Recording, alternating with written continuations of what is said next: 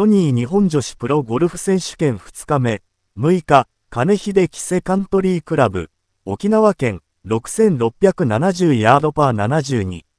走る吉田優利、大会フォト、最強女子プロゴルファー決定戦は第2ラウンドが進行中。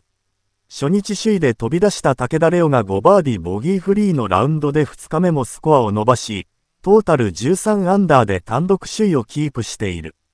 岩井明愛が5バーディー1ボギーの68をマークしトータル10アンダーで2。山下美優が65のラウンドでトータル9アンダー。大井出瑞希がトータル8アンダーで続く。藤田佐伯、ジョン・ミジョン、ペソンウ、ともに韓国の3人がトータル7アンダーですでにホールアウト。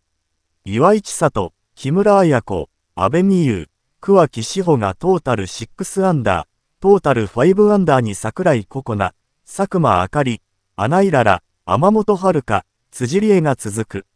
海外メジャー制覇後の凱旋出場となっている古江彩香は5アンダーからスタートした一つ落とし、トータル4アンダーで予選ラウンドを終えた。